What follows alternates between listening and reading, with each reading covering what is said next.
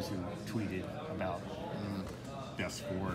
So, really, what what was your thoughts on when you watched certainly the first game and somewhat the second?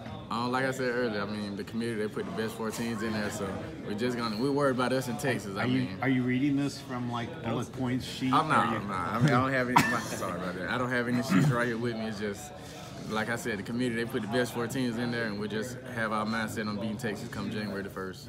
I mean, but in the past, you guys have said you think you're one of the top four, and and obviously after last night, y'all still feel that way.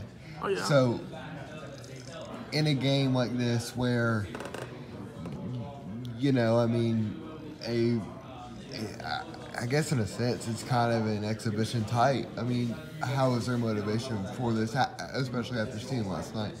Um, I mean, as far as us, I mean, we feel like we're the best team regardless. If, if you're any kind of competitor, you're going to feel like your team the best team in all college football. But um, the, the game against Texas, we're going to go out there and make a statement for ourselves to let us know that we're still Georgia Bulldogs. We're still the team that we know we are.